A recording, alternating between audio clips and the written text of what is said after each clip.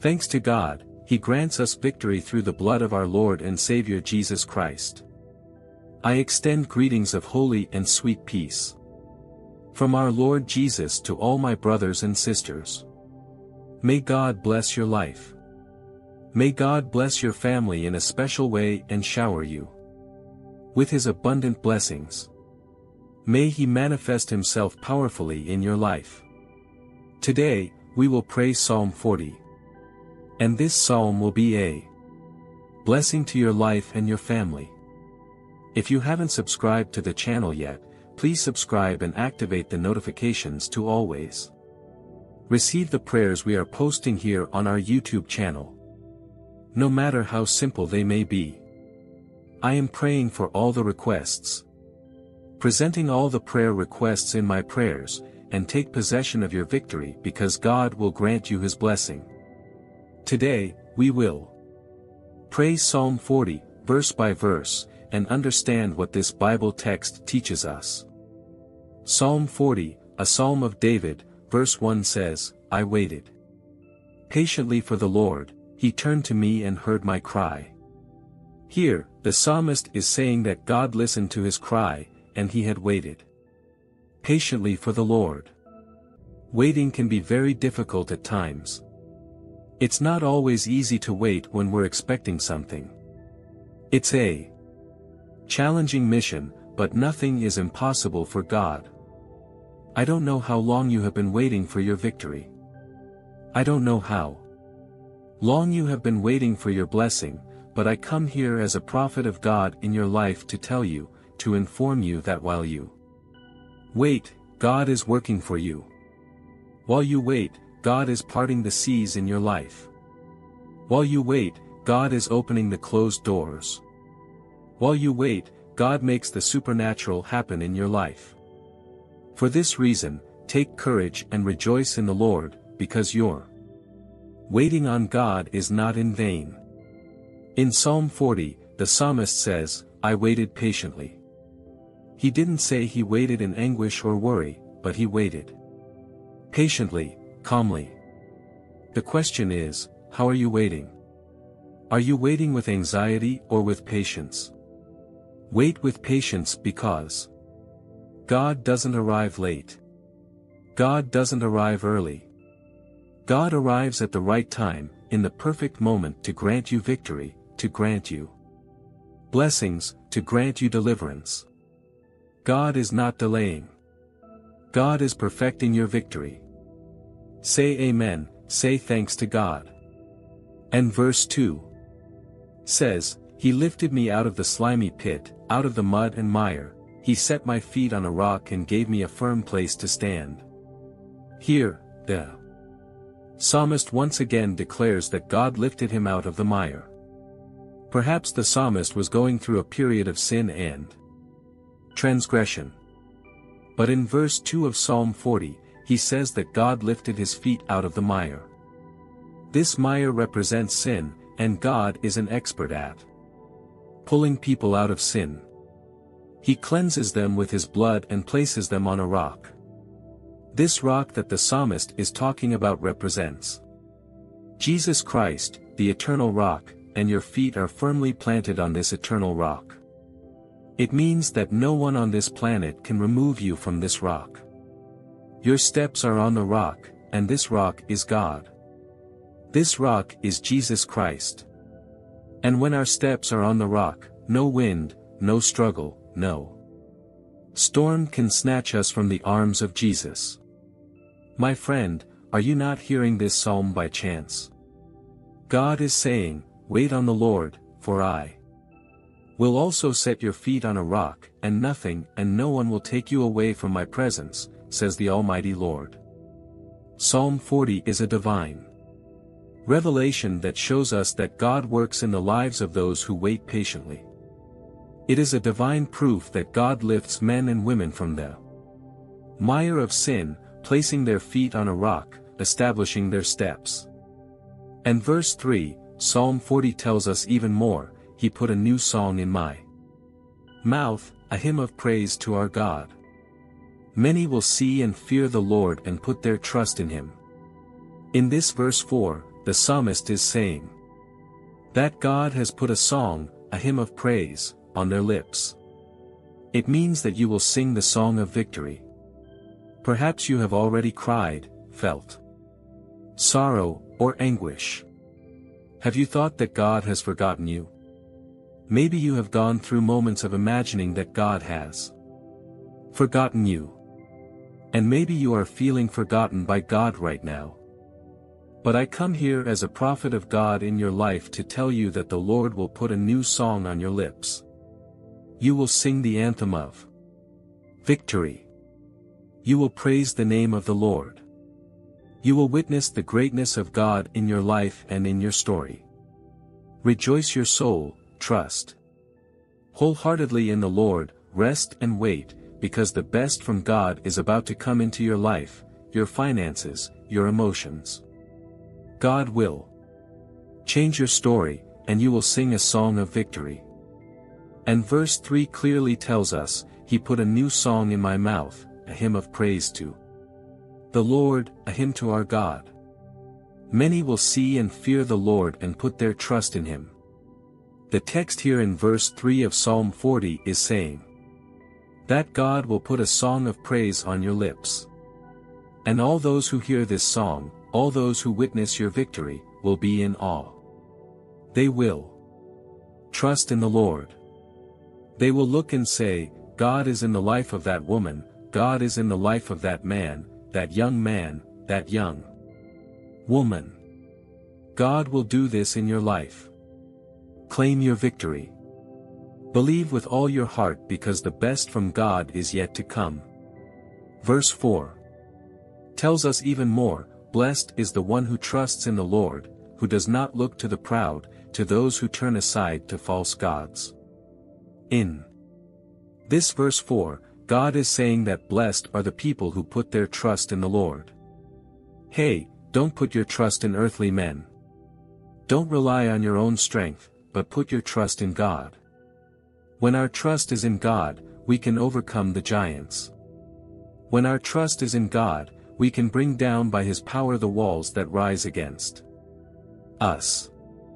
It doesn't matter the size of the giant that has risen against your life or the strength it may possess. It doesn't matter the height of the wall before you, trying to hinder your victory.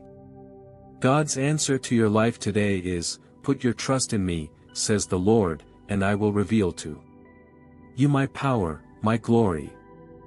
And you will sing the hymn of praise, the anthem of victory.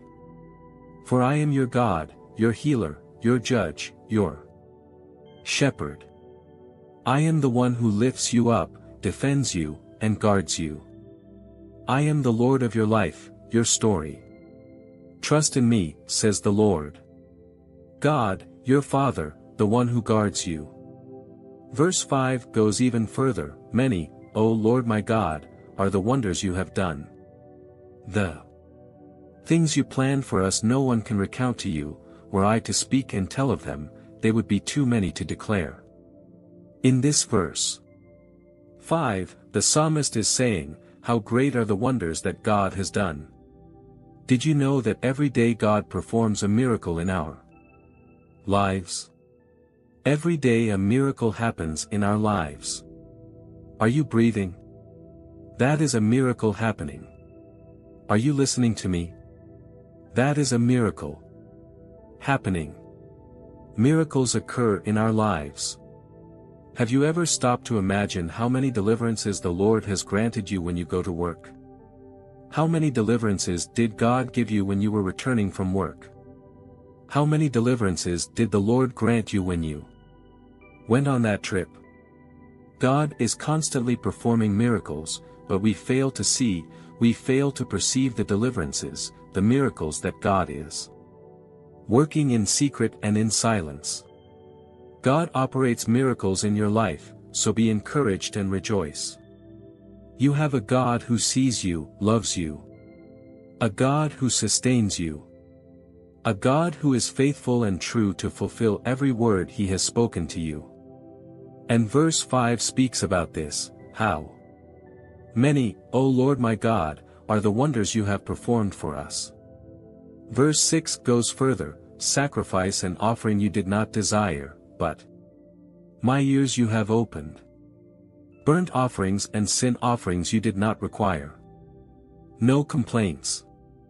Here in verse 6, the psalmist is emphasizing, affirming that listening to God is much better than sacrificing.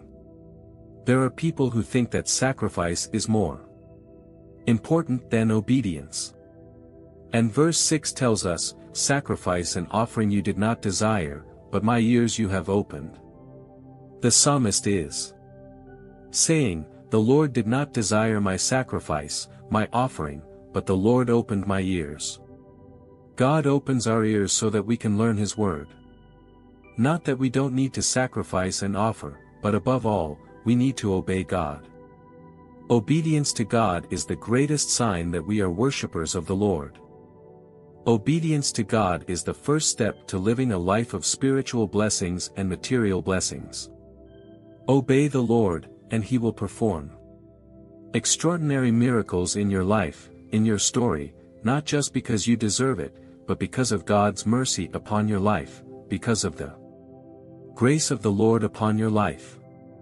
The word of God goes further in verse 7 of Psalm 40, saying, Then I said, Here I am, I have come.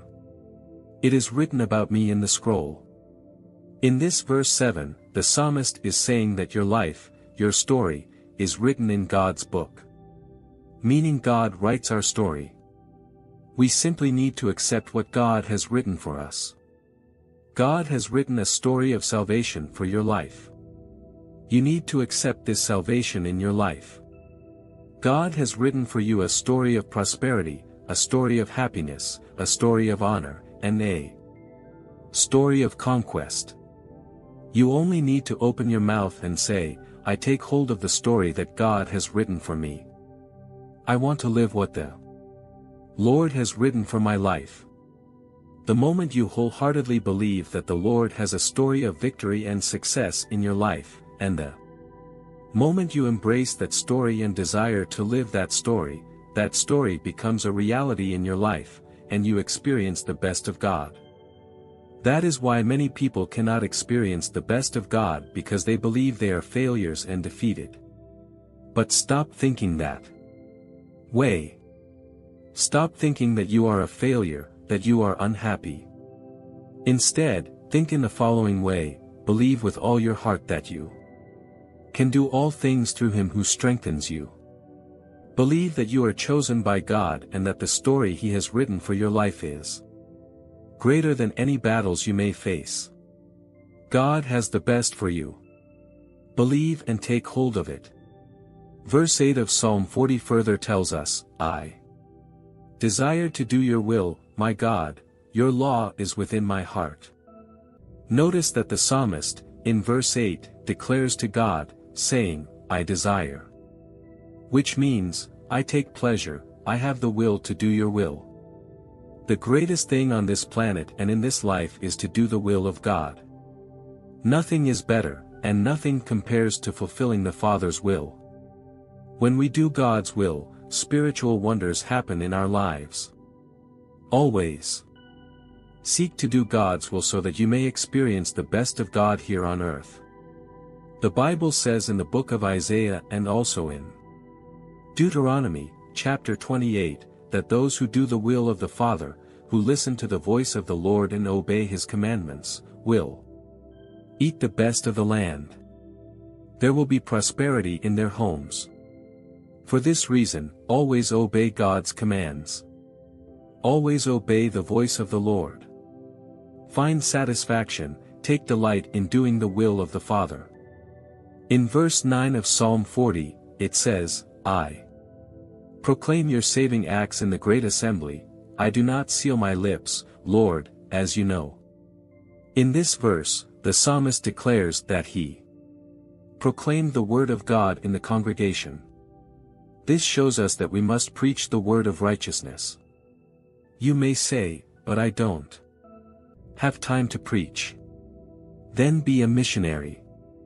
Share this video with a friend. By doing so, you are contributing to the kingdom of the Father. Preaching the word also means cooperating with those who have the gift of preaching, helping to spread the word of God. You may say, I don't know how to preach, but you can share this video with a friend, and they will listen to the word and be edified. But, whenever you can, proclaim the word of salvation. Verse 10 of Psalm 40 says, I do not hide your righteousness in my heart, I speak of your faithfulness and your saving help. I do not conceal your love and your faithfulness from the great assembly. Here, the psalmist reinforces once again that he did not hide the righteousness of God in his heart.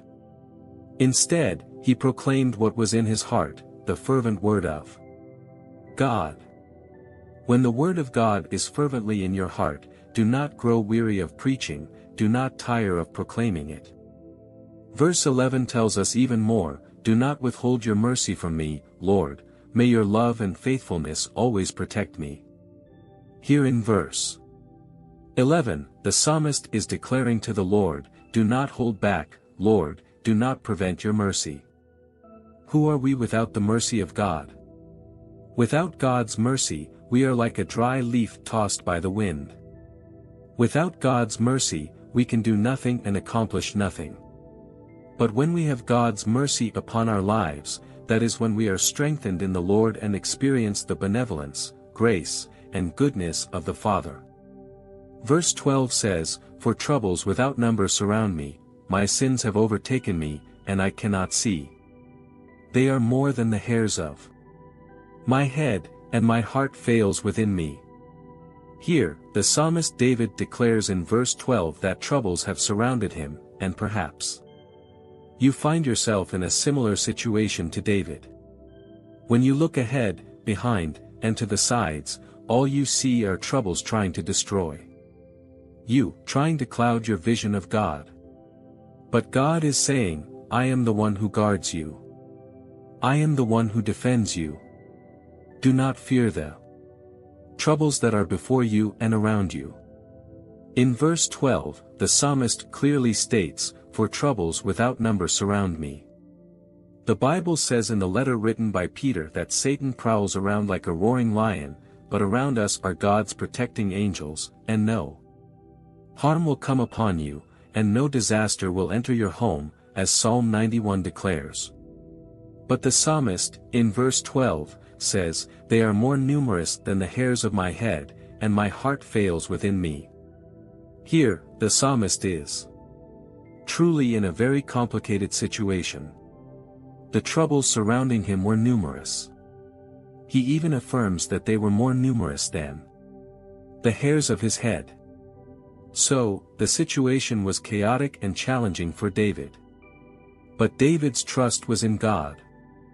That's why in verse 13, he says, Be pleased, Lord, to save me, Lord, come quickly to help me. Here, the psalmist is asking the Lord to deliver him, to hurry and aid him. It is very similar to what we see in Psalm 70, Hasten, O God. In verse 3, he is saying, Be pleased, Lord, to save me and come quickly to help me. God is hastening to deliver you, my sister and brother. God is hastening to aid you, so rest assured. And in verse 14, the psalmist says, May those who seek my life be disgraced and put to shame, may those who plot my ruin turn back in dismay. There are people who wish you harm. There are people who desire your defeat. They will not witness your downfall. They will not see you fail because the one who is with you is greater than the sea. The one who is with you is greater than the storms, greater than the struggles. The one who is with you is the Almighty.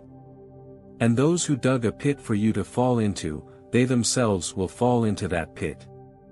First, because God will grant you deliverance. And in verse 14, the psalmist tells you, May those who seek my life be disgraced and put to shame, may those who plot my ruin turn back in dismay. Those who wish you harm will be confounded by God because the Lord is with you to deliver you. Believe with all your heart that God is Your faithful advocate. In verse 15, the psalmist further says, Let them be appalled because of their shame who say to me, Aha, aha. These are the ones who mock me, those who laugh at me. They will be confounded by the Lord. This is not vengeance. This is called the justice of God. It is always good to remember that vengeance and justice belong to the Father. Vengeance is when we act by our own strength. The justice of God is when you let God judge for you, and those who wish you harm will be confounded, and the Lord will repay the insult they have made against you. In verse 16, the psalmist further says, But may all who seek you rejoice and be glad in you, may those who love your salvation say. Continually, Great is the Lord. Here, in verse 16, the psalmist declares that those who seek the face of God, those who love the salvation of the Father, may they say, Great is the Lord. You can repeat that word, Great is God. He gives me victory. Great is God. He honors me. Great is God. He saves me, defends me, protects me. And in verse 17, which is the last verse, the psalmist makes his final declaration in Psalm 40. He says, As for me, I am poor and needy, but the Lord takes thought for me. You are my help and my deliverer, do not delay, O my God. This verse is very beautiful. The psalmist seems to pour out his heart before the Father, and he confesses his situation before God. In verse 17 of Psalm 40, he says, As for me, I am poor and needy, but the Lord takes thought for me. You are my help and my deliverer, do not delay. O my God! This verse 17, the psalmist concludes Psalm 40 on a high note. Perhaps you feel like the psalmist David, feeling like a poor and needy person. Poverty here doesn't mean financial poverty but rather a poverty of the soul. He is in need of God. But he affirms by saying, The Lord takes thought for me. Hey, my sister and my brother, God takes care of you. God takes care of you in the smallest details. God takes care of you in all things. Pay attention to what God is speaking to you. Psalm 40 is very powerful, and it shows in verse 17 that God takes care of those who are in need. And if you are in need of God, if you are in need of Him, know that God takes care of you. He carries you in his arms and he says to you, Daughter, do not fear for I am with you, Son, do not fear for I am with you. Take courage in me. Rejoice in me. Rest and wait and trust. Why will you sing the song of victory? Those who mocked you will see the glory of God in your life. The Lord will honor your steps. The Lord will honor your life and your story. And you will share a great testimony of victory in your life. And those who hear this testimony will say, Only the Lord is God. Only the Lord is God. I want to invite you at this moment to join your faith with mine as we pray together. I want to pray for your life. Leave your prayer requests in the comments, no matter how simple they may be. Share what you need from God at this moment. What do you urgently need God to do in your life, this month, or this year? What do you need God to do? Let's pray. The prayer of Psalm 40. The prayer of those who wait and trust in the Lord, for those who wait and trust will be rewarded by God. Close your eyes in this moment. And pray with me, the Holy Spirit of truth. Here in your presence, we are and we want to ask for forgiveness for all our faults and weaknesses, forgiveness for all our sins. Here I am, your servant, Lord, and here is your servant who listens to me at this moment. Your word confirms to us in Psalm 40, I waited patiently for the Lord, and he inclined to me. God, come and incline yourself to the life of this woman and this man, granting your victory, your peace, your grace, your anointing, and your liberation. God, we read here Psalm 40. Verse by verse, and we understand, Lord, that you are a God of mercy. We understand in this Psalm 40 that you are a God who works on behalf of those who wait for him. And you are a living God who performs signs and wonders in the lives of those who fear you, in the lives of those who honor you, in the lives of those who believe in your word. Lord Jesus, I want to present every life that listens to me at this moment. We want to unite our faith, believing that you are the God of the impossible, the one who can make the supernatural happen, no. Matter how difficult the prayer request that your servant has placed in the comments. Lord of this video, in the name of Jesus, come and perform the supernatural, come and open the doors that are closed, come and grant your blessing, your victory. Enter with providence. Lord, into the causes, into justice. Enter with providence. Lord, come and untie everything that is tied up. Come and unlock everything that is locked. May your providence reach, Lord, your servant and the servant who prays alongside me. God, come and perform the supernatural. If it is sickness, heal it in this moment. If it is open doors, Lord, come and open the doors. God, make the supernatural happen. Pour out a rain of grace, a reign of victory, a reign of blessing, a reign of prosperity in the life of my sister, in the life of my brother who listens to me. In this hour, God, come and attend to the tears of this woman, the tears of this man who humbly asks for your victory in the name of the Father, the Son, and the Holy Spirit, in the name of Jesus Christ of Nazareth. Receive your victory, receive your blessing in this hour. Receive your prayer answer in the name of Jesus. Say Amen and thank God. Repeat this phrase with me, I can do all things through Christ who strengthens me.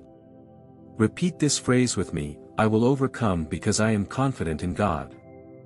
I take hold of the blessings of Psalm 40 in my life. Repeat once again, I take hold of the blessings of Psalm 40 in my life. I am a victorious person in Christ Jesus. Repeat this phrase with all your faith and hope. I am a victorious person in Christ Jesus. I take hold of my blessing, and I take hold of my victory. In the name of Jesus. This is the prayer of Psalm 40, and may the blessings of Psalm 40 be upon your life, your home, and your family. I greet all my brothers and sisters with the holy and sweet peace of our Lord and Savior Jesus Christ. May God bless your life in a very special way, and may the blessings and victories of God be upon you and your family in the name of Jesus. Today, we will be praying Psalm 3, and this prayer will be a blessing to your life. Please stay until the end of this video because it will be a blessing for you and your entire family. Amen. If you haven't subscribed to the channel yet, please subscribe now. Amen. I want to express my gratitude to all the friends who are part of this channel. To all of you who have made prayer requests, I am praying for all of you. Feel free to make your prayer request, no matter how simple it may be. If you need a blessing or a victory, comment below, and I will read and present all the prayer requests before God. May God greatly bless you and grant you great victories. God will speak to you in a very special way through Psalm 3. Pay attention because there is an answer from God for your life through this psalm. In verse 1 of Psalm 3, it says, Lord, how my foes increase. There are many who attack me. Perhaps you are going through a situation similar to the psalmist, facing persecutions and people rising against you. In this verse, David is talking about such experiences, saying, Lord, how my foes increase. There are many who attack me.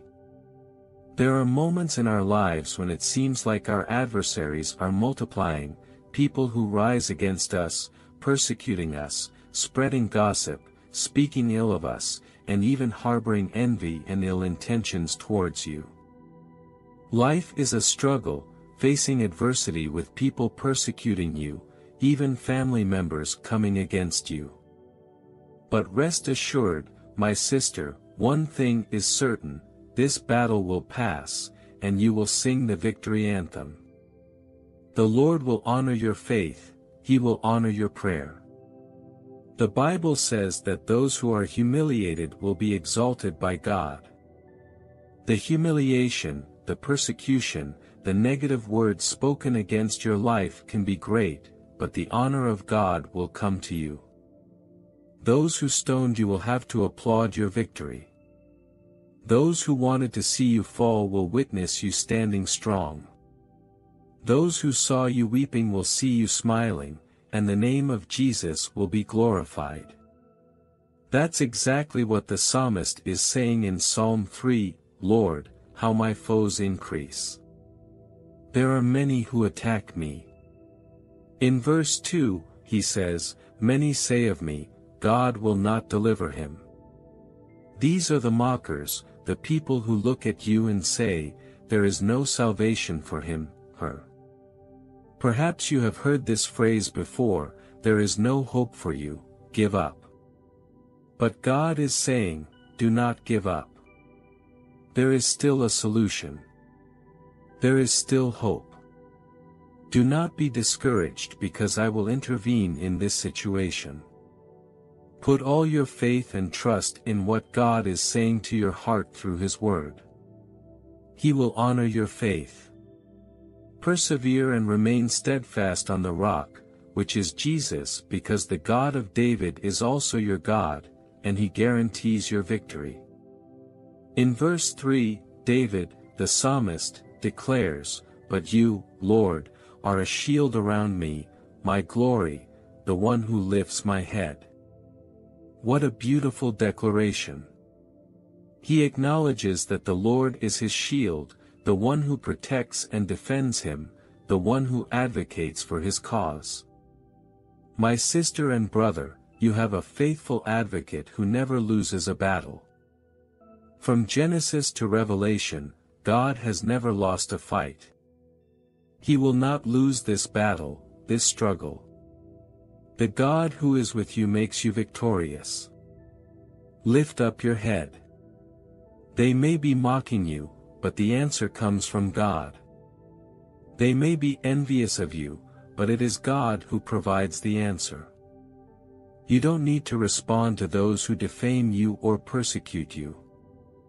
Let God answer for you. It is God who responds on your behalf, who speaks for you, and who acts on your behalf. The answer comes from God. That's why you should lift up your head, be of good courage, and maintain your faith, because God is your strong shield. He is the one who defends you with power, and he is present in your life. In verse 3, the psalmist says, But you, Lord, are a shield around me, my glory, and the one who lifts up my head. The one who lifts up my head means the one who honors my faith. The Bible says that those who are humiliated will be exalted. Perhaps you have experienced great humiliation, but the honor and exaltation of the Lord in your life will be even greater. Today may be a day of struggle, but tomorrow will be a day of victory. Embrace this word in the name of Jesus. In verse 4, the psalmist further says, I cried out to the Lord with my voice, and he answered me from his holy mountain.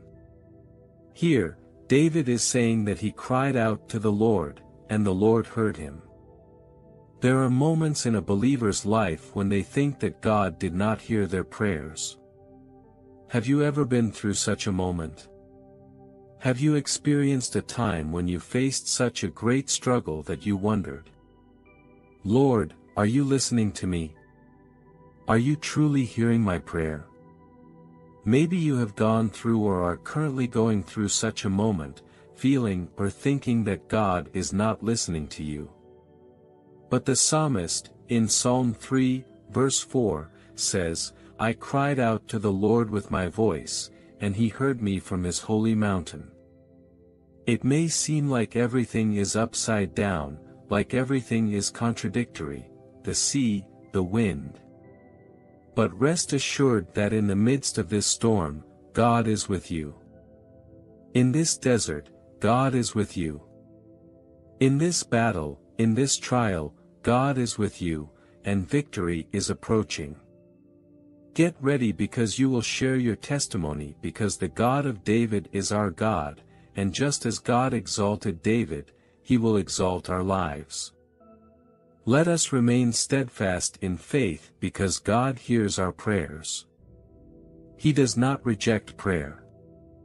If you have prayed, God has heard your prayer, and He will provide. He will bring healing, renewal, and victory into your life, your home, and your family. Claim this word in the name of Jesus. God is indeed listening to your prayer, yes, God is hearing your request, and in His perfect timing, in His appointed hour, He will make the supernatural happen. Through the eyes of faith, I can already see God moving heaven on your behalf. Embrace the victory.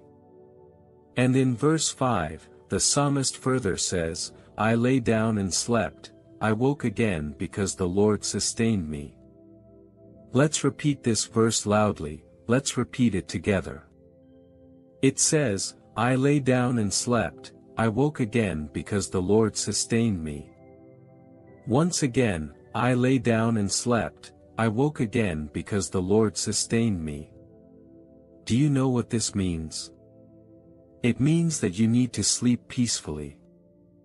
Those debts, those problems, that difficult situation that is stealing your sleep, Sleep peacefully because you will resolve this situation in the name of Jesus. Yes, this problem will be solved. Have faith, do not lose hope. You will overcome this adversity, and then you will come back to this channel to share your victorious testimony. Get ready because your blessing will be great. Do not let the worries of this world consume you. Trust in God's providence and His perfect timing. He is with you every step of the way. Let go of the worries that steal your sleep. Rest peacefully, just like the psalmist in Psalm 3. I lay down and slept, I woke again because the Lord sustained me. God is the one who sustains you, who holds your hand and says, My child, I am your God, your shepherd, your healer, your Lord, and I will never leave you alone.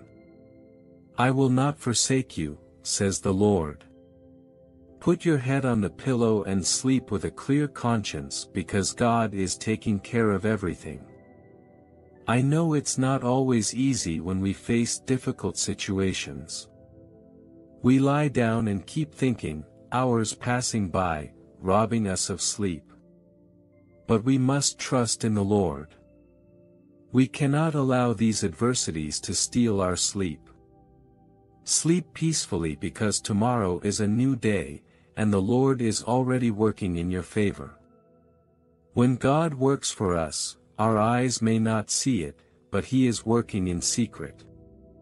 He is working in the unseen, and He will honor you publicly. All eyes will see God's honor in your life.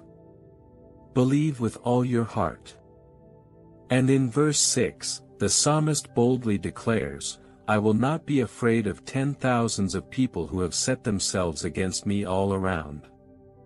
Look at the courage of David. When God is with us, we become courageous, don't we? When we are certain that God is with us, we have no fear because the one who is with us is greater. Do not be afraid of curses, of spells, of enchantments, or of any of those things. Do not fear. Some people are afraid of the devil, afraid of darkness, afraid of the enemy, afraid of the evil works done against them. But do not be afraid because the one who is with you is greater than evil. The one who is with you is greater than darkness. The one who is with you is greater than demons. The one who is with you is the creator of heaven and earth. Do not be afraid because God is with you. Sleep peacefully. Rest in peace. Do as the psalmist did in Psalm 3, when thousands of people rose against him. You are protected by a strong shield that does not break, and the name of that shield is Jehovah Jesus. He is before you, and no harm will come to your dwelling, nor any plague to your house. You are under divine protection. Therefore, rest, trust, and calm your heart. Do not be afraid. That's what the psalmist is saying in verse 6. I will not be afraid of ten thousands of people who have set themselves against me all around. And in verse 7, he says even more, Arise, O Lord. Save me, O my God. For you strike all my enemies on the cheek, you break the teeth of the wicked. Here, David is asking God to rise, to act in his favor. He is not giving a command because we are servants who receive orders from God. But David is humbly asking. He is saying, God, arise, O Lord. Arise, O Lord, and save me. You can say this with me, Arise, O Lord, and save me. God is rising from his throne to give you victory. He is rising to give you help. He is rising to give you healing. He is rising to open closed doors. He is rising to bring salvation to your home, to your family. He is rising to give you victory. In verse 8, the psalmist concludes Psalm 3 by saying, Salvation belongs to the Lord, your blessing be on your people. The blessing of the Lord is upon his people. The blessing of the Lord is upon me. The blessing of the Lord is upon you. The blessing of the Lord is upon us. Salvation comes from the Lord. The blessing of the Lord is upon us, and this blessing brings peace, hope, and confidence. With that, we can rest and calm our hearts because God takes care of us. So, calm your heart. If you're feeling any anguish in your heart, place your hand on your chest, and I will pray for you so that all anguish disappears. If you have any illness, place your hand on the affected area, and I will pray for you so that the illness disappears. Let us pray the prayer of Psalm 3, asking the Lord for his provision, protection, and victory. Let us pray in this moment. Our Father who art in heaven, hallowed be thy name. Thy kingdom come, thy will be done on earth as it is in heaven. Give us this day our daily bread, and forgive us our trespasses as we forgive those who trespass against us. Lead us not into temptation, but deliver us from evil. For thine is the kingdom, the power, and the glory forever. Amen. Marvelous God, sublime and eternal Lord, in your holy and omnipotent presence, we are here to thank you for all that you have done and for all that you will do. We also humbly ask you, God, to remove all anguish and sadness from our hearts, to disappear in the name of Jesus. May every illness vanish from this body in the name of Jesus Christ of Nazareth. God, in the name of Jesus, we ask for your provision, your protection, your blessing, and your victory. Send forth your mighty angels into this house, bringing deliverance, cutting the ties, and undoing every entanglement. Lord, remove the obstacles from our path, open the closed doors. God, I ask for your financial blessing, your financial provision. The spiritual blessing, your spiritual blessing, be upon every area of the lives of your servant and those who listen to me. Bring your blessing, bring your love, bring your shower of victory upon our lives, Lord. We present our families before you, Lord. We present our health, we present everything we are and everything we have. Multiply the blessings, multiply the victories, multiply the achievements, multiply the finances of your people, Lord, in the name of Jesus, so that we may say as the psalmist said. I lay down and slept, I woke again, for the Lord sustained me, Psalm 3 verse 5. Guard us in the fortress of your power, Father. Deliver us from all evil, God, in the name of Jesus. I present marriages before you, God. I present finances. I present the sentimental lives of your people. Bring restoration to families, bring financial restoration, God. We place all our hope, all our faith in you. We put everything into your hands. Bring a special victory, especially in these days, Lord.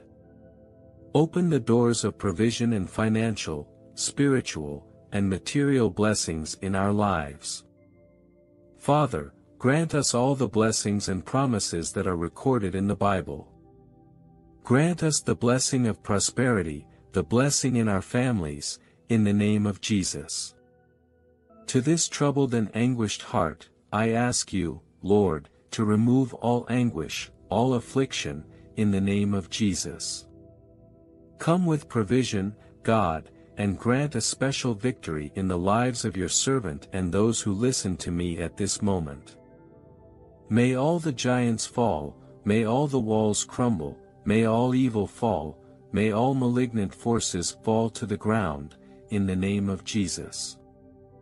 Lord, we ask and thank you in advance because yours is the kingdom, the power, and the glory forever. God, in the name of Jesus, pour upon our hearts peace, tranquility of spirit, gratitude, strength, and faith. Multiply and increase our faith, strength, an anointing to march in your presence with power and authority. By your Spirit, make us invisible to our material and spiritual enemies, placing us in the realm of invisibility. We ask for your benevolence, your mercy, and we thank you in the name of Jesus. Thanks be to God. Amen. My sister and my brother, take possession of your victory. Take possession of the blessings of Psalm 3 in your life, in your home, in your family, in your story, and remember that you were born to overcome and live every promise of God.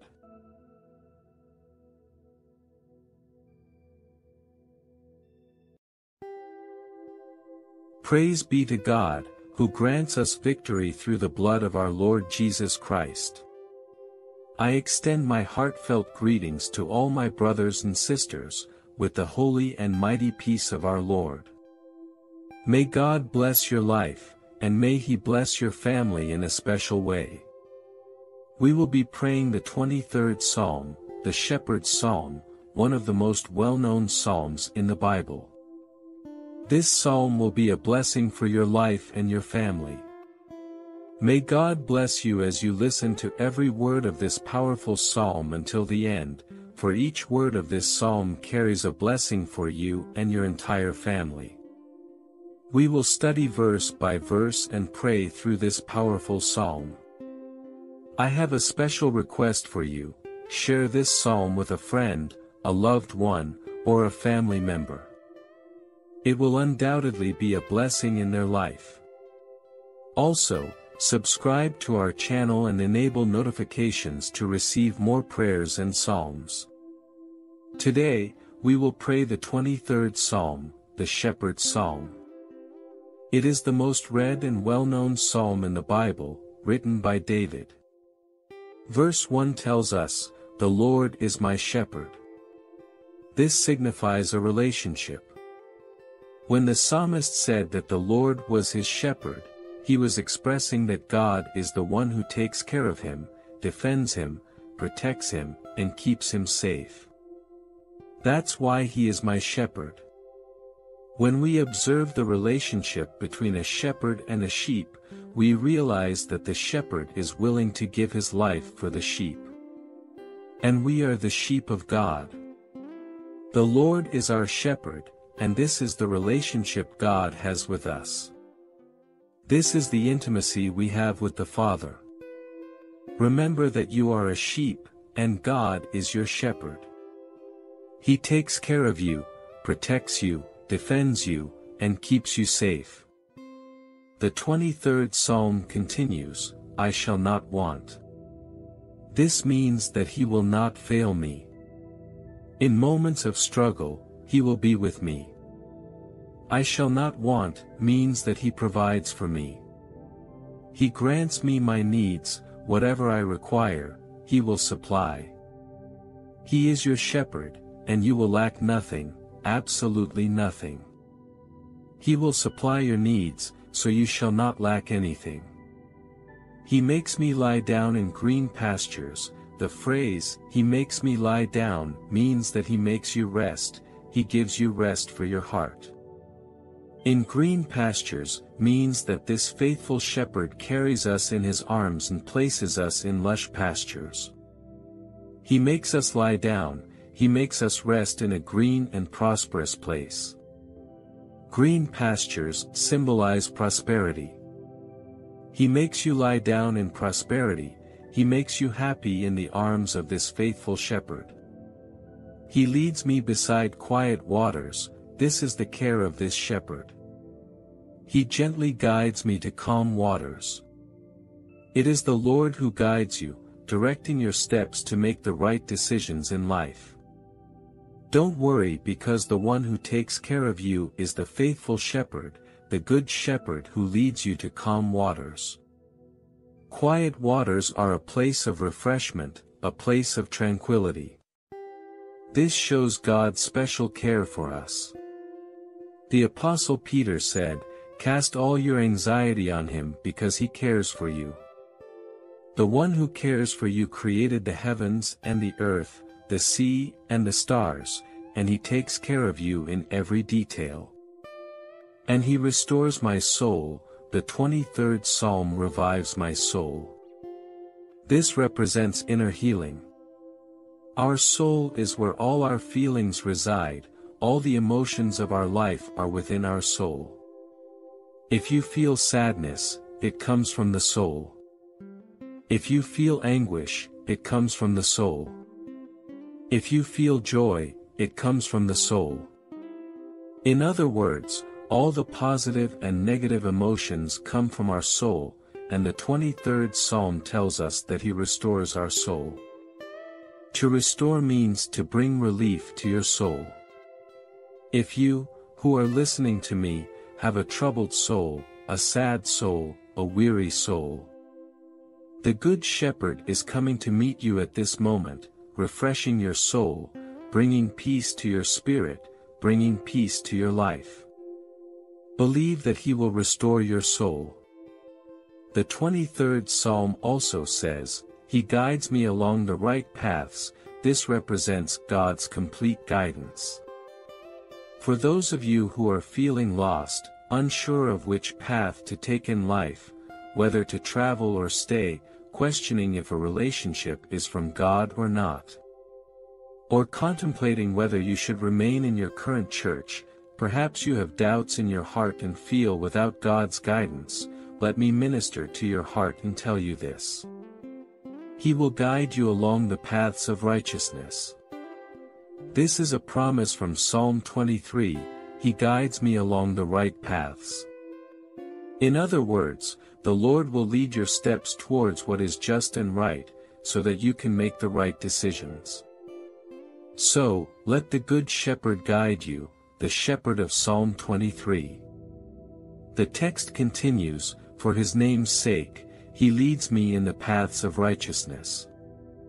For his name's sake, means the purpose of our lives is to glorify the name of the Lord. For his name's sake, means, I will do things in your life for the sake of my name. I will bless your financial life, your relationships, your family, and your health for the sake of my name, says the Lord. It is for the sake of this precious and powerful name that he will guide you. That's what the psalmist is saying. For the love of this beautiful and wonderful name, for the love of God's name, he will guide you along the paths of righteousness. The 23rd Psalm further states, Even though I walk through the valley of the shadow of death. What does this valley of the shadow of death that David refers to represent? It represents trials, struggles, and adversity.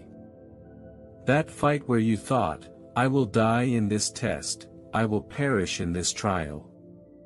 Have you ever faced a similar situation where you thought you would perish in the midst of a struggle?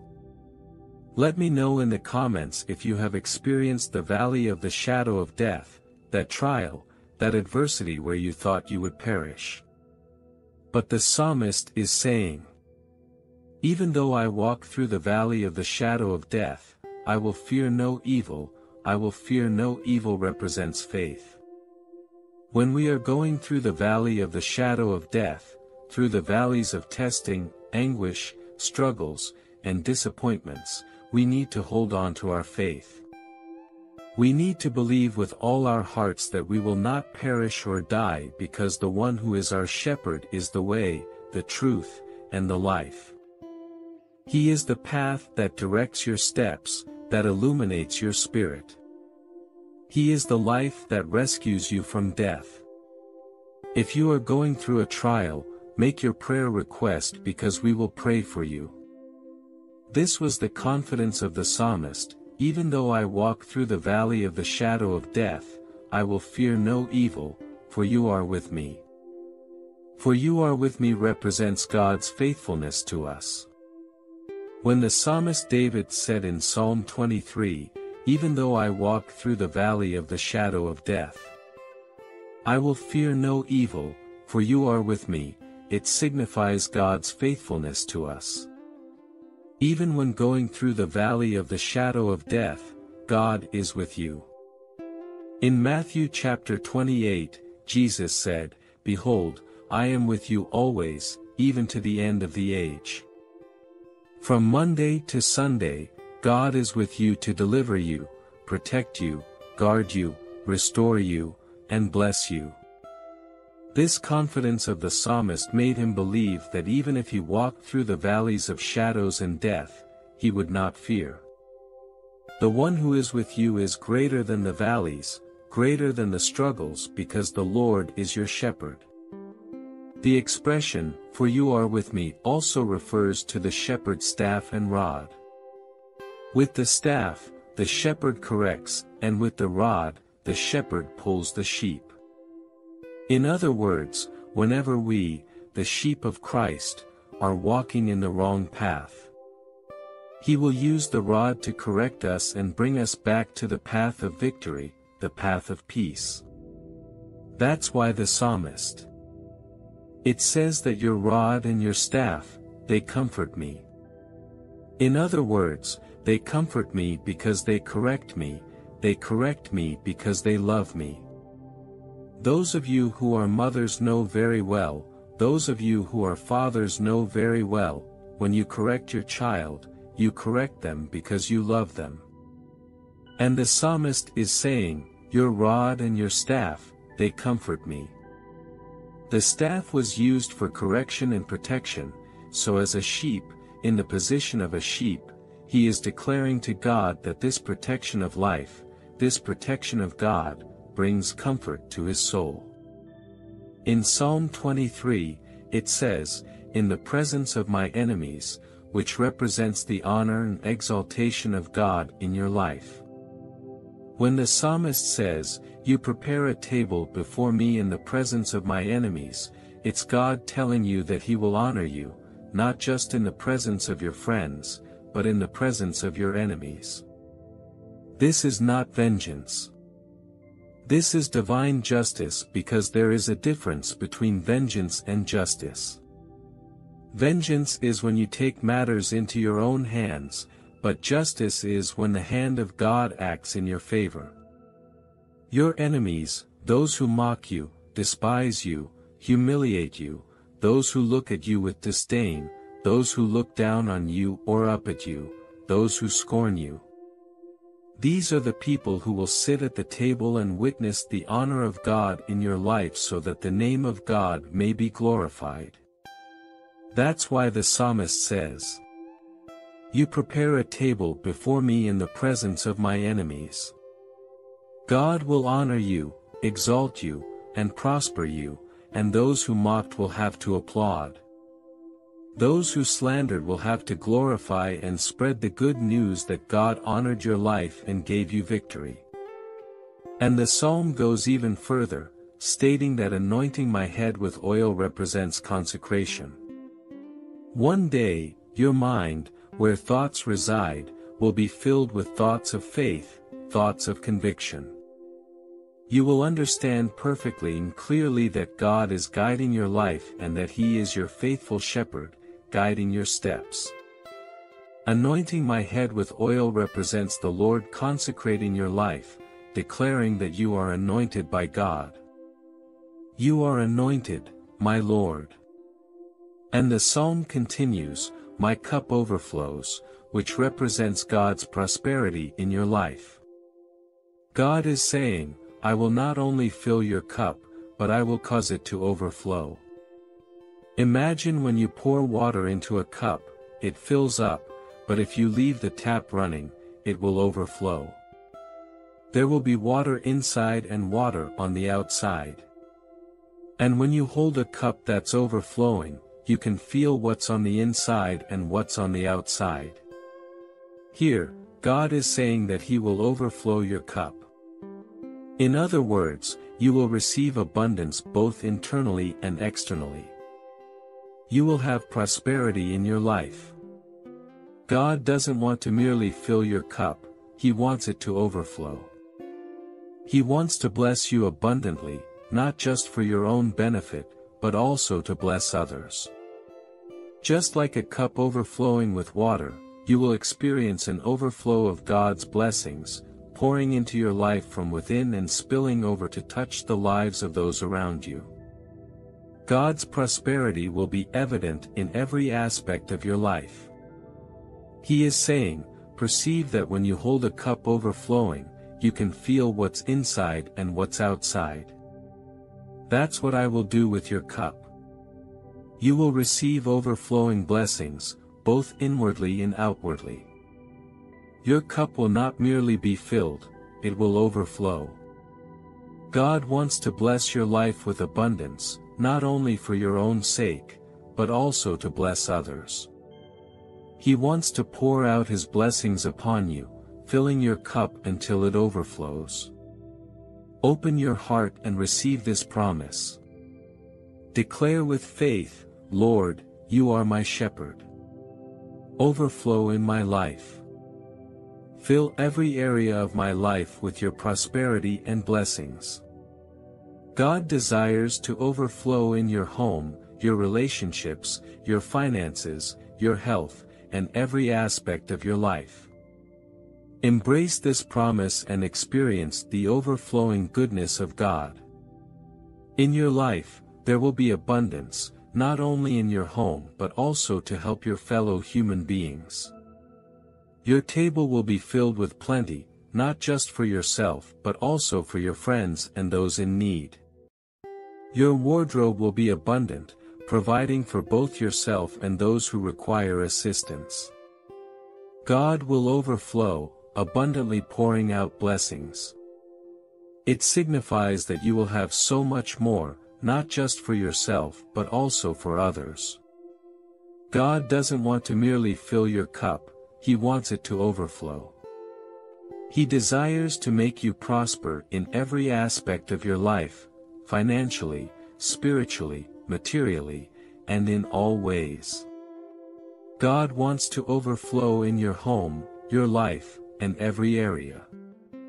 And even in the darkest times, you shall not be overcome. Embrace this promise, claim it with faith. Declare, Lord, you are my shepherd. Overflow in my life. God doesn't want to just fill you, He wants to overflow in your home, in your life, in every area. And even in the face of adversity, His abundant blessings will not fade away. Embrace the overflowing goodness of God in your life. Surely, goodness and mercy shall follow me all the days of my life. This represents daily blessings. When the psalmist in Psalm 23 says, Surely, goodness and mercy shall follow me all the days of my life. He is declaring that God will be with you every day. It's a daily blessing. Goodness and mercy are present in your life every single day. On Monday, there's a blessing. On Tuesday, there's a blessing. On Wednesday, there's a blessing. On Thursday, there's a blessing. On Friday, there's a blessing from God. On Saturday, there's a blessing from God. On Sunday, every day of your life, mercy and goodness will be with you, guiding you, protecting you, and blessing you. This represents daily provision in your life.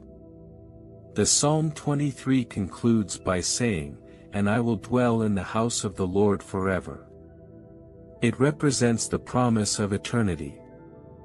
The text tells you that you will be in God's house forever. You will find comfort in this good shepherd who watches over you, guides you, and ensures that you lack nothing. You can declare, The Lord is my shepherd, I shall not want. You will not lack in your home. You will not lack because God will overflow in your storehouses and overflow in your life. Take hold of this word, this promise, this blessing, this gift from God in your life. I want to offer a special prayer for you. These were the verses of Psalm 23, and I explained each verse. Share it with a friend who may not fully understand the meaning of Psalm 23. This video will help you and others better comprehend the significance of each verse. In this very moment, I want to pray the prayer of Psalm 23. If you can, close your eyes and focus on God because we are going to pray in this moment. Leave your prayer requests in the comments, and I will present each prayer request to God, asking the Father to grant you what you need, what you require, and what you desire. Let's pray, let's enter into this covenant of prayer in this moment. Let us pray, Holy Spirit of God, Almighty Lord who created the heavens and the earth, you are our shepherd, and we shall not want. Lead us beside still waters, guide us gently, and provide for us. You are the faithful shepherd, you are the Almighty Lord, and I want to lift up the life of every woman listening to me. I want to present the life of every man listening to me in this moment, God. Perhaps I may not know them personally, but your Spirit knows their hearts. Your Spirit knows their hearts, so come and bless them, come and prosper them, come and bless their lives, the lives of those who are listening to this Psalm 23. May your blessings reach them, granting them victory, preparing a table before them in the presence of their enemies. Anoint their heads with oil, so that their cup may overflow. Overflow, Lord, in their financial lives, in their spiritual lives, in their lives, O Lord. May there be prosperity in their lives because you are their shepherd, and they shall not lack.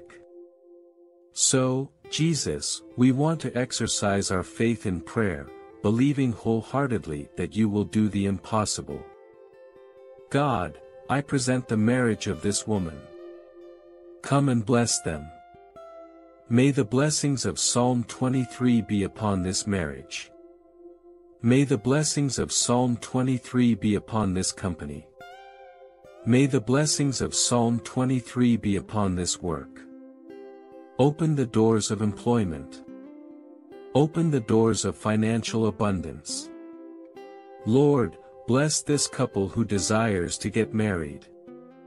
May your blessing, the blessing of Psalm 23, come to meet them so that they may attain this gift, God.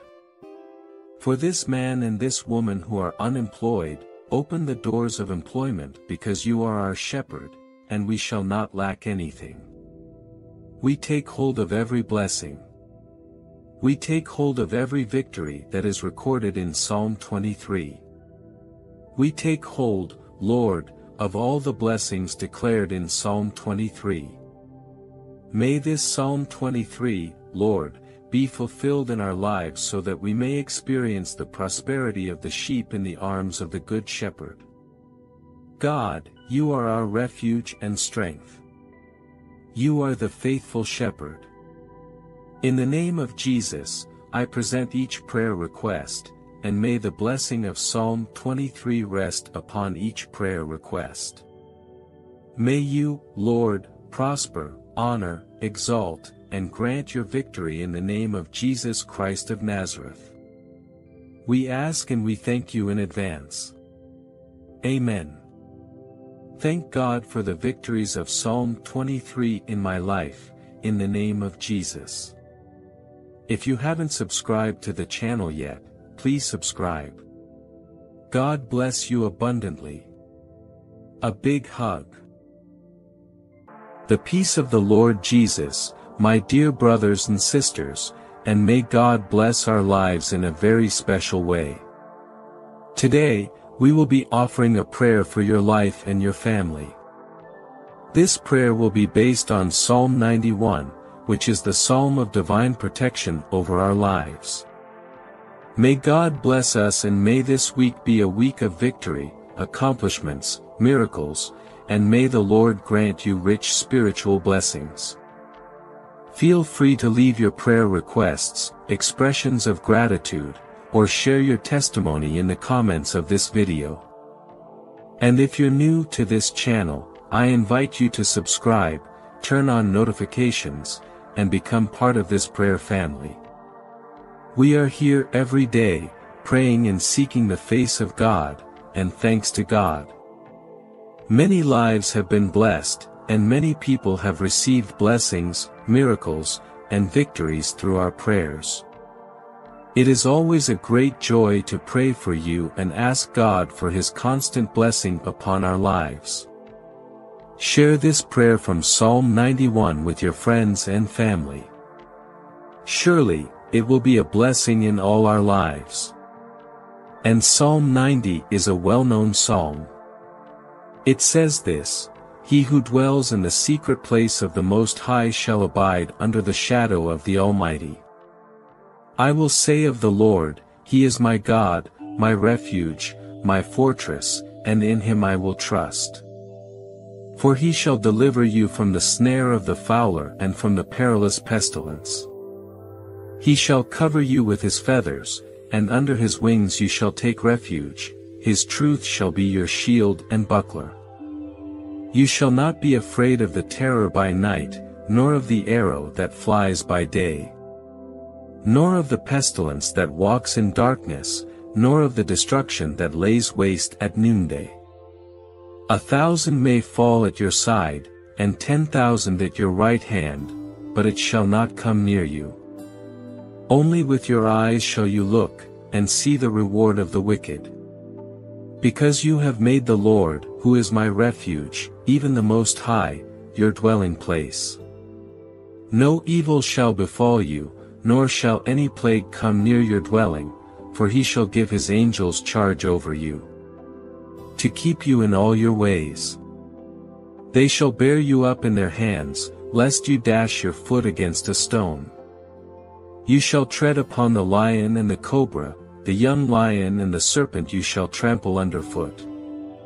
Because he has set his love upon me, therefore I will deliver him, I will set him on high, because he has known my name. He shall call upon me, and I will answer him, I will be with him in trouble, I will deliver him and honor him. I will give you abundance of days and show you my salvation. These are the blessings of Psalm 91. Through this Psalm 91, we can perceive that God is the one who guards us. God is the one who protects us. God has kept your life. God has protected your story. You are in the palm of God's hand. And the blessings of Psalm 91 are upon your life, upon your family. And verse 7 says, A thousand may fall at your side, and ten thousand at your right hand, but it shall not come near you. In other words, you may be surrounded by enemies, but God is your shield. God protects you. God defends you. And in verse 11, the psalmist declares, For he will command his angels concerning you to guard you in all your ways. In other words, God has sent a strong angel to protect you in this battle. In this battle, you are not alone. There are warrior angels, mighty angels fighting for your life. When you go to work, there are angels of God surrounding and protecting you. When you return from work, there are angels of God guarding your life. We may not perceive it with our eyes, but every day, God grants us deliverance. If we could see and perceive the spiritual world, we would witness angels warring against the forces of evil. God protects our lives 24-7. Sometimes, there are deliverances that we cannot perceive, but God is delivering us. So be assured, my sister and my brother, God has sent a strong angel to be with you in this battle, in the name of Jesus. Through the eyes of faith, I can see that there are angels of God surrounding your home, surrounding your life, and that which you have prayed for. The blessing you have prayed for, to protect someone. You, as a mother, praying and saying, Lord, protect my children. Know, my sister, that nothing bad has happened in your child's life because of your prayer. When you pray for your children, God sends strong angels, warrior angels, to guard your children, to protect your relatives, your family. Every time we pray and ask God for protection, the Lord sends angels to undo the enemy's traps. In the name of Jesus, if the enemy has planned against your home, against your family, the enemy's plans are being undone now by the angel of God, the angel of the Lord. The angel of Psalm 91 is going to your home at this moment, cutting the ties, undoing the entanglements, and smoothing the path. If your ways are entangled, the angel of the Lord will untangle them because God has already given orders concerning you to grant you victory, conquest, and blessing. Claim the blessings of Psalm 91 in your life. Psalm 91 assures us that we are protected and guarded by God. We are in the shelter of the Most High and under the shadow of the Almighty. We can rest because God is our refuge, our fortress. He is present. Jesus said, Behold, I am with you always, even to the end of the age. On Monday, God is with you. On Tuesday, God is with you. On Wednesday, Thursday, Friday, Saturday, Sunday, on every day of your week, God guards your life. God protects your life and sends mighty angels to guard and defend you. That's why the Bible tells us in the book of Hebrews, chapter 1, verse 14. Are they not all ministering spirits sent forth to minister for those who will inherit salvation? In other words, the angels of the Lord are guarding our lives by the mercy of God. And in this moment, let us pray to the Lord. I will ask God for the blessings of Psalm 91 to be upon your life and the life of your family. Amen. Let us pray. Sovereign eternal God, Father, Creator of heaven and earth, in your holy and powerful presence. We are here and we want, Lord, in this moment of prayer, to present our lives before you, acknowledging that we are nothing without you. We need you, Lord. We are in need of your mercy, and it is because of your mercy that we are alive and standing. We want to ask for the blessings of Psalm 91. Lord, may these blessings of Psalm 91 be upon our lives, God, and upon our families, not just this week, this month, or this year, but in the coming years as well. Lord, may your blessing, the blessings of Psalm 91, be upon our homes every single day of our lives. For your word reveals that those who dwell in the secret place of the Most High shall abide under the shadow of the Almighty. So we ask you, Lord, to hide us in the secret place of the Most High and under your shadow. Lord, make us rest.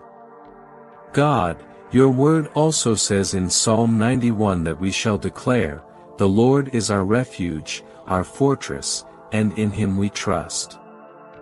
For it is you, O God, who delivers us from the snare of the fowler and from the deadly pestilence. Deliver us, Lord, from the snares of the enemy, from the traps of the fowler.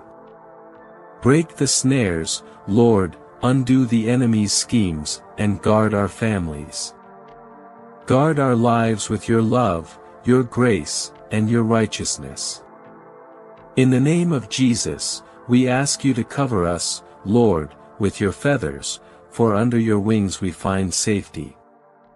Lord, be our shield, Almighty God, and may your truth protect us. Come to guard our souls, Lord God. You are faithful to save. You are faithful to heal. You are faithful to transform. You are faithful to strengthen our hearts in your presence. Strengthen, Lord, the weary. Increase the strength of those who have no vigor. Lift up those who are discouraged, I ask you, Lord. Grant them courage, grant them strength, and grant them boldness. For your word says that though a thousand may fall at our side and ten thousand at our right hand, we will not be harmed. So, Lord, guard us. Guard us from evil and danger. Guard us from distress. Guard us from suffering. Cut, Lord, the cords that the enemy tries to use to bind the souls of your people. God, in the name of Jesus, if there is anyone who is imprisoned by depression, trapped in sadness, held captive by past disappointments, come and break that spiritual prison. May all sadness, all anguish, and all depression vanish in the name of Jesus, and may relief, peace, strength, joy, and encouragement come in its place in your presence. Holy Spirit, your word says in Psalm 91, verse 10, No harm will overtake you, no disaster will come near your tent. God, you guard our homes, you guard our lives, you guard our coming and going. Your word confirms in verse 11, For he will command his angels concerning you to guard you in all your ways. Send forth, Lord, a mighty angel to undo the bonds, to unravel the entanglements. God, we acknowledge that the glory is yours and everything comes from you, and all that exists stems from your greatness, your glory, and your love. And we ask you, Lord, to send a warrior angel to wage war in the spiritual realm, that this angel may undo the enemy's bonds in the mighty name of Jesus. Because we believe in the power that resides in your name, for through your name demons fall, through your name Jesus, illnesses disappear. And through your name Jesus, miracles and the supernatural occur. And in your name, we ask you to guard us, to deliver us, in your name, I beseech you. If there is someone who is sick listening to me at this hour, may all sickness in their bones, in their flesh, in their body, in their soul, In their spirit, may all sickness, whatever the ailment, vanish now in the mighty name of Jesus, God. We want to claim all the blessings of Psalm 91 in our lives. God grants us spiritual authority. Lord, grant us abundance of days and show us your salvation. May these blessings of Psalm 91 manifest in our lives, in our homes, and in our families. We ask you, O God, for you are omnipotent, omnipresent, and omniscient. You are the Alpha and the Omega, the beginning and the end. You are the Almighty, the Creator of the heavens and the earth. You are the one who heals, who saves, who liberates, and who transforms. You are the one who makes the impossible happen, and we ask you in the name of your beloved Son, the one who died and rose again on the third day. The one who walked on water, the one who made the dead rise, the one who made the blind see, in the mighty name of Jesus Christ of Nazareth. We ask for the blessings of Psalm 91 in our lives, for the glory of your name. Our Father who art in heaven, hallowed be thy name. Thy kingdom come, thy will be done, on earth as it is in heaven. Give us this day our daily bread Forgive us our trespasses as we forgive those who trespass against us. Lead us not into temptation, but deliver us from evil, for thine is the kingdom, the power, and the glory forever. Ah! Amen and thanks be to God. May God bless your life, my dear sister, and my dear brother. Know that we are together in this prayer covenant. We are here every day praying, seeking the face of God. Claim your victory. Take hold of the blessings of Psalm 91 in your life. Amen. Send this prayer to your friends, to your family. May God bless your life and your family in a special way. And remember, you were born to conquer and experience all the blessings of Psalm 91 in your life.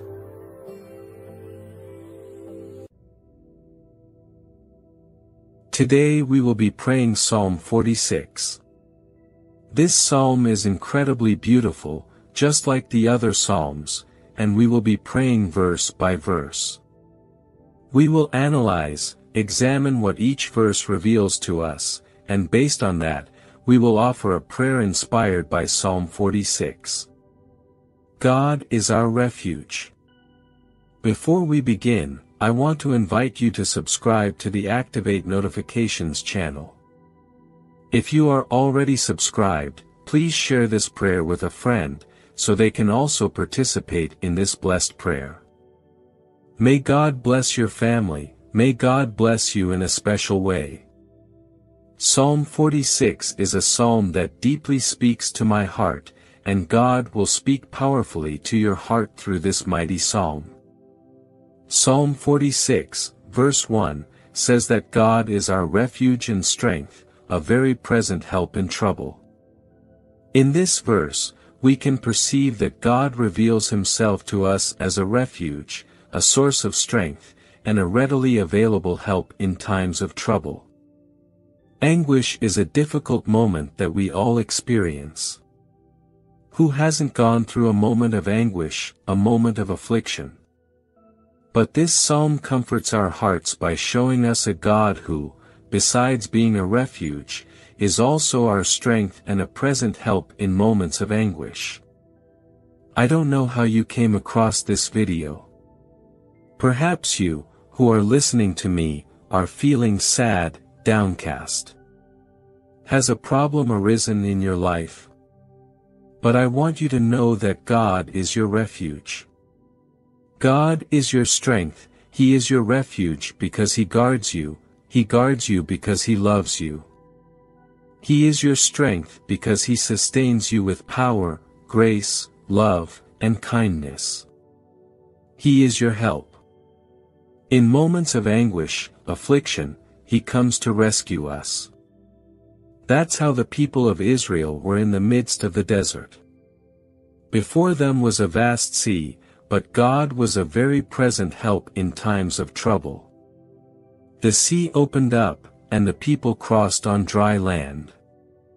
Know that your God is present in moments of affliction, in moments of anguish, in moments of scorn, in the difficult moments of life.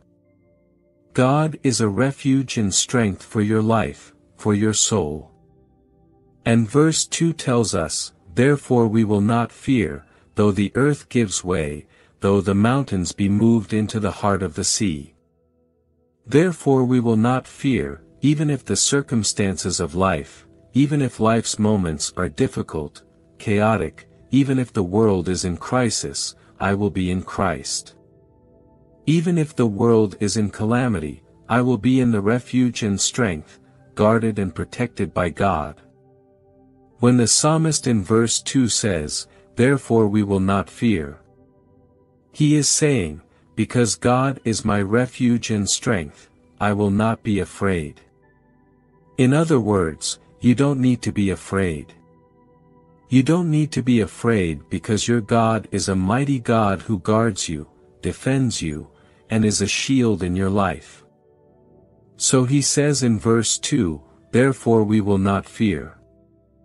I will not be afraid, I will not be afraid, because God is my refuge and strength. Every time fear knocks on the door of your heart, tell fear, God is my refuge and strength, a very present help in times of trouble. Do not be afraid, do not be afraid of adversities, problems, conflicts, giants, or walls. Do not be afraid, because the God who called you is faithful, and he guarantees your victory. He guarantees blessings in your home, in your family. The God you serve is a refuge and strength, a present help in times of anguish. And for this reason, the psalmist tells you, Therefore we will not fear, even if the earth gives way. Just see the confidence of the psalmist. He is saying that even if the earth moves, even if the earth gives way, he will not fear, even if the mountains are carried into the midst of the sea. In other words, even if an earthquake happens, I will not fear because my God is my refuge and strength. That's what the psalmist is saying in verse 2. And in verse 3, he goes even further, even if the waters roar and foam, even if the mountains tremble with its tumult. In other words, even if everything around me is conflicting, even if everything around me seems difficult, complicated, problematic, even so, I will not fear. Even if the earth gives way, even if the waters roar and foam, even if the mountains are cast into the midst of the sea, even so. I will continue to trust in God because I know that my Redeemer lives and will ultimately rise upon the earth. And the psalmist is teaching us that we need to trust in God. And how were Jesus' disciples in the midst of the storm? Jesus was sleeping in the boat. The storm was raging, and the disciples were fearful, they were afraid. Jesus wanted to teach his disciples that they didn't need to be afraid because the one in the boat was greater than the seas, greater than the winds, greater than everything. Jesus rises up and calms the sea and the wind. Jesus is rising up in your life today to calm the storm, to calm the contrary winds. For this reason and for this purpose, do not fear, do not be dismayed, and do not be afraid. Do as the psalmist did in Psalm 46, therefore we will not fear. Even if the earth gives way, and even if the mountains are carried into the midst of the sea, even if the waters roar and foam, even if the mountains tremble with its tumult. In verse 4 of chapter 46, the psalmist goes even further. There is a river whose streams make glad the city of God, the holy habitation of the Most High. Notice that in this verse 4, the psalmist tells you that there is a river, and this river whose streams make glad the city of God. Which river is the psalmist referring to in Psalm 46? It is the river of living water. It is the same river that Jesus spoke of to the Samaritan woman. In the Gospel of John, it is the same river described in the book of Revelation. It is the river that brings life, also described in the book of Ezekiel about this river. This is the river that brings joy. The waters of this river are the Holy Spirit. Water represents purity. Water represents purification. And the river that purifies is the river that transforms. It is the river that heals diseases. It is the river that cures sin, that washes our spiritual garments, and the waters of this river. It is the Holy Spirit of God that brings joy to the city, the dwelling place of the Most High. This river is now entering your house. This river of God, the purifying river, the transforming river, the healing river, the river that opens doors, the river that brings joy. The river that comforts our hearts. The Holy Spirit of God is entering your house, entering your life, and purifying your soul. And it is about this river that verse 4 is referring to. The river that represents the Holy Spirit of God, and this river, the streams of these waters, brings joy to the city of God. In other words, the Holy Spirit brings joy to our hearts. And in verse 5, it says even more, God is in her midst. She shall not be moved. God will help her when morning dawns. Notice that in verse 5 of Psalm 46, it says, God is in her midst. The text does not say that God is on the right side, the left side, in front, or behind. No. The text says that God is in the midst. What does it mean that God is in the midst? When you place something in the middle of a room, everything around it seems to fade away. When you put something in the middle, highlighted in the center of a room, everyone who enters can perceive what is in the middle. Have you noticed? Everything in the center is observed, everything in the center stands out. When the text says in verse 5 that God is in her midst, the psalmist is saying that God is in the center. God is the center of attention. God is in the midst. It means He is the most important thing in my life. God is the most important. That's why He is in the center, in the midst. Notice that when Jesus went to die on the cross, He died in the midst of two thieves. Even in His death, the middle, the center, belonged to Him. God is in the midst, in the center of your life. God is in the midst of your house. God is in the midst of your marriage, your work. When God is in the center of our lives, the Word of God tells us that God is in her midst. In other words, when God is in the center of our lives, highlighted in our lives, we will not be shaken, and God will help us when morning breaks. So allow God to be in the center of your life, and nothing will shake your faith, nothing will shake your hope in God, and the Lord will help you. When morning breaks, in other words, God will be ready to help you and come to your aid. And in verse 6, the psalmist declares, the nations rage, the kingdoms totter, he utters his voice, the earth melts. When the psalmist says, The nations rage, the kingdoms totter, he utters his voice, the earth melts, we can see the power, the potency of God's voice. Notice that in this verse 6, the psalmist tells us that the Lord utters his voice and the earth melts. In other words, the voice of the Lord is so powerful that the earth melts. The voice of the Lord is so powerful that no stony heart can withstand the voice of God.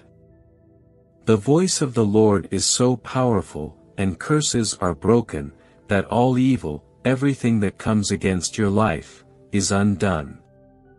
Why? Because the voice of the Lord is powerful.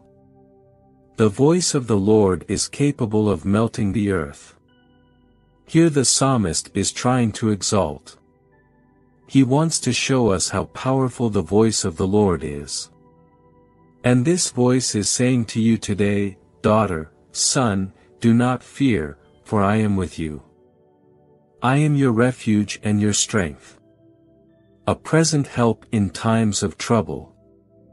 And in verse 7, the psalmist makes a very important declaration. He says, The Lord of hosts is with us. The God of Jacob is our refuge. In this verse 7, the psalmist is saying, the Lord of hosts is with us. Hey! I'm telling you that the Lord of hosts is with you. Yes, I'm not saying that the president is with you, that the governor is with you. That the Air Force, Navy, Army is with you. I'm not saying that. I'm saying that the God who made the heavens and the earth is with you. The God who made the sea and the stars is with you. The one who is with you is greater. The one who is with you is greater than the sun, greater than the moon. The one who is with you is greater than the stars. The one who is with you is greater than the seas. The one who is with you is greater than the giants. Who is with you is greater than the governors. Who is with you is greater than everything and greater than everyone. Who is with you is the one who made the heavens and the earth, the one who parted the Red Sea for the people of Israel to pass on dry land. The one who brought down the walls of Jericho, the one who made the giant fall to the ground, the one who healed the sick, the one who died and rose again on the third day. It is this one who is with you. Therefore, take courage, rejoice, and rest your heart, because the one who is with you is stronger than evil, stronger than darkness, and stronger than wicked deeds. The one who is with you is the Lord God Almighty. So do not be afraid. And Psalm 46, verse 7, tells us, the Lord of hosts is with us. Say it out loud, the Lord of hosts is with me. Is with us, and I will not fear. The God of Jacob is our refuge. In verse 8, Psalm 46 continues to say, Come, behold the works of the Lord. What desolations he has brought on the earth. Here the psalmist extends an invitation in verse 8, Come. Behold the works of the Lord. What desolations he has brought on the earth. The psalmist is saying, Come and see, come and see how powerful God is. Come and see the works he has done. When the text speaks of the desolations he has brought on the earth, it means that God does great things. Notice that he did something tremendous in Egypt, bringing ten plagues upon them to liberate his people. See how God parted the sea for the people of Israel to pass through and closed it to prevent the Egyptians from following. So, what desolations has he brought on the earth? That is why the psalmist says, Come and behold, come and see how faithful God is in your life. How faithful God is in your home, how faithful God is to you. And in verse 9, he says even more, he makes wars cease. He makes wars cease to the end of the earth, he breaks the bow and cuts the spear in two, he burns the chariots with fire. This verse 9 is very interesting because in verse 7, the psalmist says that the Lord is the Lord of hosts. However, in verse 9, he says that the Lord makes wars cease. In other words, God is a God who is the Lord of hosts, but what is God's battle? God's battle is to cease wars. What does that mean? Ceasing wars means God is saying, I will cease the wars in your family. I will cease the wars in your workplace. I will cease the conflicts, the fights. I will bring peace among your family members. I will bring peace in your city, in your neighborhood.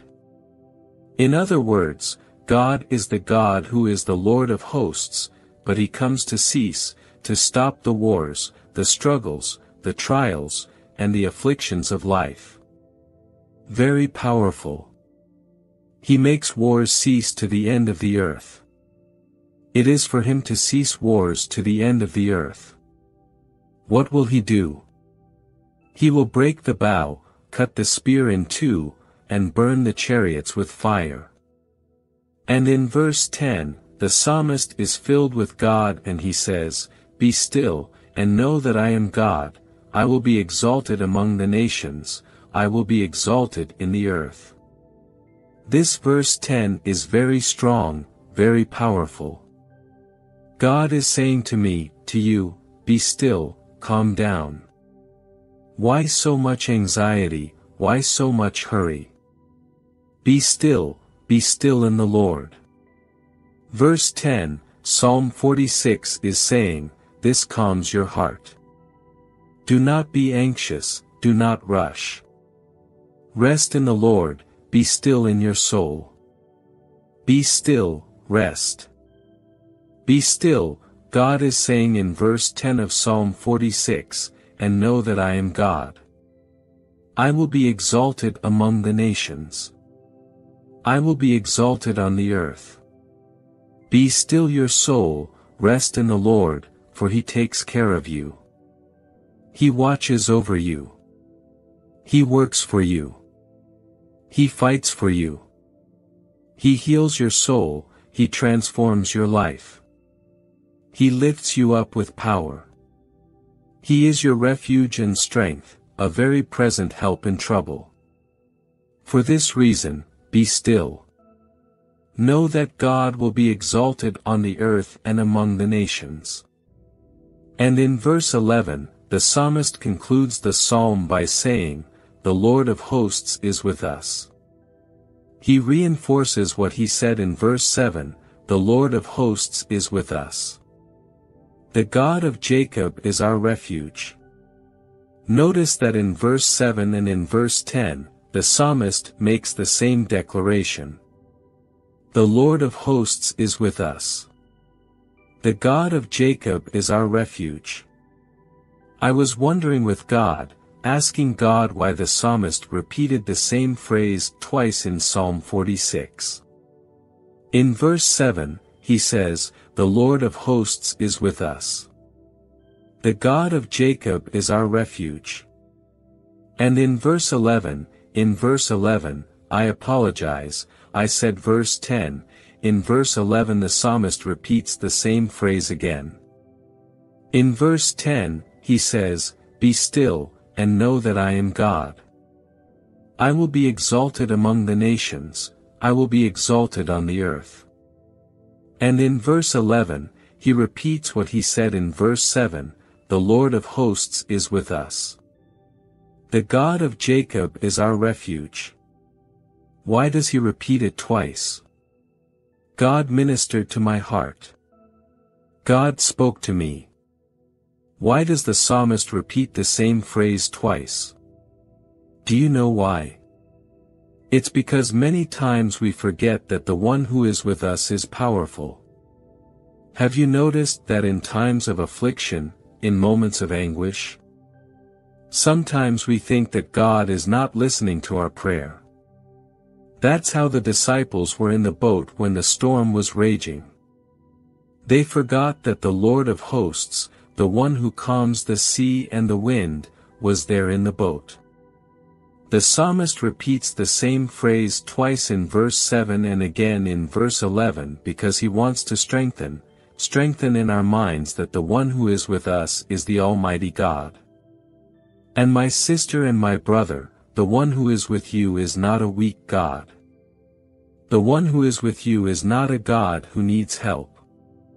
The one who is with you is not a God who walks with a crutch.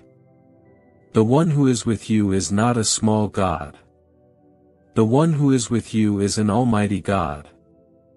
That's why the psalmist repeats in verse 7 and verse 11 that the one who is with us is the Lord of hosts. The God of Jacob is our refuge.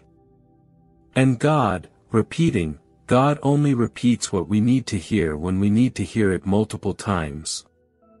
That's why in Psalm 46, he repeats it twice in verse 7 and verse 11. He, the Lord of hosts, is with us. He is with us to give us victory. He is with us to heal, transform, lift up, strengthen, completely transform our lives. So do not be afraid. Do not be dismayed, for the Lord of hosts is in your life. Amen. Claim this word. Claim what God has promised for you. I want to invite you at this moment to pray with me. Let's pray to the Lord, asking for His divine providence, seeking healing, salvation, and the blessings of Psalm 46 in our lives. Close your eyes and pray with me. Holy Spirit of God, we have meditated on each verse of Psalm 46. And we believe, O God, that you are the God of the impossible.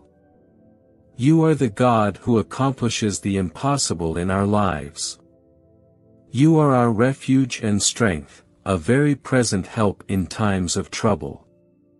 We will not fear even if the mountains crumble and everything around us shakes, for we are confident in you. We are rooted in the rock who is Christ Jesus. In this moment of prayer, I want to present the life of your servant who is listening to me, the life of your handmaid who is listening to me. Come and bless, come and strengthen, come and lift up, come with your grace, come and give encouragement to her and to him in the name of Jesus Christ of Nazareth. I ask you, God, to send your angel and may your angel undo every entanglement, remove every obstacle that is blocking the victory of your daughter and your son. Guard your people, Lord, for you are the Lord of hosts. We believe in your power. You are the Lord of hosts, and you are with us to protect, guard, defend, and guide us. Therefore, Lord, fight for us. Come and cease the wars to the ends of the earth. Put an end to the conflicts in households, the strife between couples, the conflicts at work, the conflicts in the church, and the conflicts in families. Let them all cease now, let them be annihilated. Let all evil, every negative force, every attack, and every counterattack from the enemy be undone by the power of Jesus' blood. Lord, cover our families, our homes with your blood. Defend us, protect us, guard us with your power and mercy. God, in the life of this woman listening to me and this man listening to me, pour out your blessings, your gifts, your virtue, and your victory. Shower us with blessings, grace, and victory over the lives of my sister and my brother, in the name of Jesus Christ of Nazareth. We ask for the blessings of Psalm 46 in our lives, in our families, in our finances, and in our emotions. Lord God, bring healing, bring liberation, bring transformation, open doors, and grant victory. For you are our refuge and strength, a very present help in times of trouble. In the name of Jesus, we take possession, Lord, of all the blessings, promises, and gifts that you have for our lives. In the name of Jesus, Amen and thanks be to God. Repeat this phrase with me, I take possession of all the blessings of Psalm 46 in my life. Repeat it again. God is my refuge and strength, a present help in difficult times. Say it louder, say it for hell to hear, for heaven to hear, for people to hear. Declare for everyone to hear, God is my refuge and strength, a very present help in times of trouble. In God, I can do all things because he strengthens me. Amen. Take hold of victory. Believe that you were born to overcome, and nothing and no one can steal from you the blessings of God that are in your life. Amen. May God bless you. If you are not subscribed to the channel yet, subscribe and enable notifications. May God bless you. May the peace of the Lord and the prosperity of Christ be in your life. May the blessings of Psalm 46 be upon you.